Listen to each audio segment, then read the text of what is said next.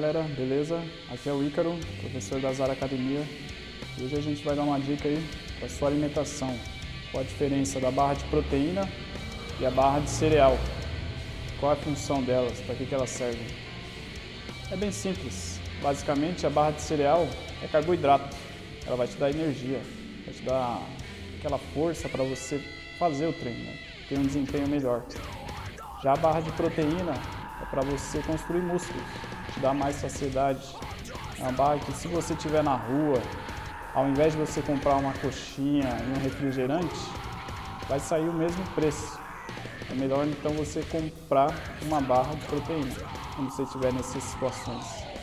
E qual é a melhor proteína? Qual a melhor barra de proteína? Qual a melhor barra de cereal de carboidratos?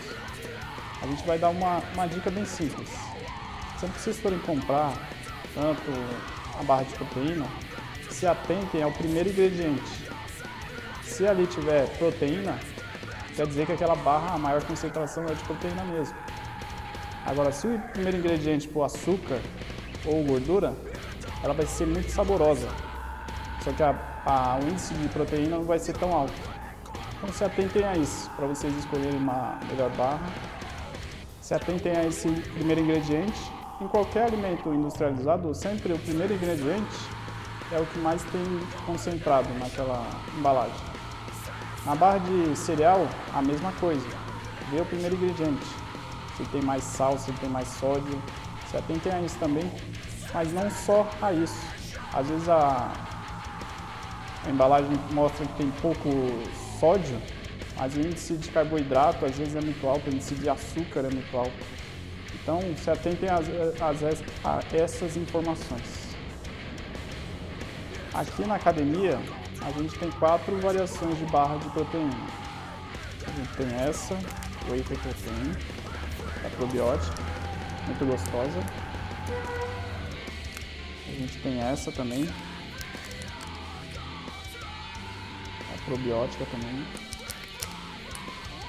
E tem essa da Max Titânio, chocolate. E essa, na minha opinião, é a mais gostosa. Só que é a mais cara também.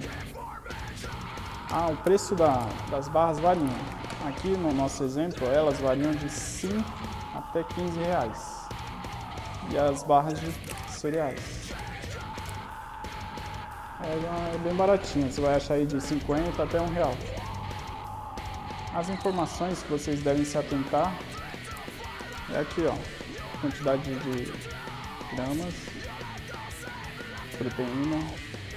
E aqui, ó, geralmente muita gente não se atenta a isso, os ingredientes. Sempre aqui que vocês têm que olhar, principalmente, para ver se ela não tem muito açúcar, se ela não tem muito sal, se ela tem proteína, efetivamente. Aqui o custo-benefício, que mais achei legal, que mais e, e mais compro, é essa aqui, ó. Ela não é tão cara e o, a concentração de proteína dela é bem alta. Vocês vão achar aí diversos modelos de proteína e de barra de cereal. Se vocês atentarem a isso, vocês não vão errar. Bom, espero que vocês tenham gostado aí das dicas, das informações e bora treinar.